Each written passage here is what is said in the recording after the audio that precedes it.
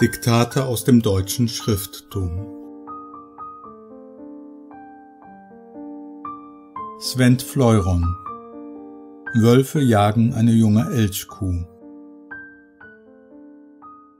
Die Wölfe hatten eine junge Elchkuh vor sich, und das Dröhnen der Schalen feuerte sie zu verstärkter Geschwindigkeit an.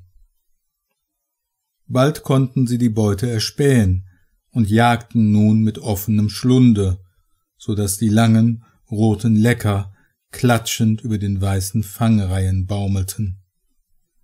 Stunde auf und Stunde ab hielten sie aus. Endlich konnten sie das Wild stellen.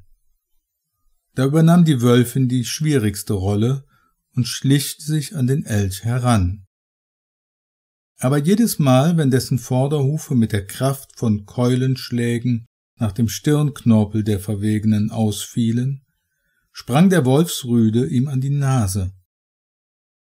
Der Schweiß tropfte allmählich von seinen Schrammen, die er davongetragen hatte, auf den Boden. Dann ging es wieder weiter. Zwei Nächte und einen Tag dauerte der Wettlauf. Schließlich stürzte sich der Elch auf seinem Fluchtpfad in einen See, aber der Wolf war ihm so dicht auf den Fersen, dass es ihm gelang, dem Flüchtling im Augenblick des Abschnellens auf den Rücken zu springen. Und nun ritt er auf ihm durch das Gewässer, während er ihm gleichzeitig in rasender Wut Hals und Kehle zerriss. Bald schwamm der Elch leblos unter ihm. Da ließ die Wölfin ab, biss sich an einem der Gehörne fest und zog die Beute an Land.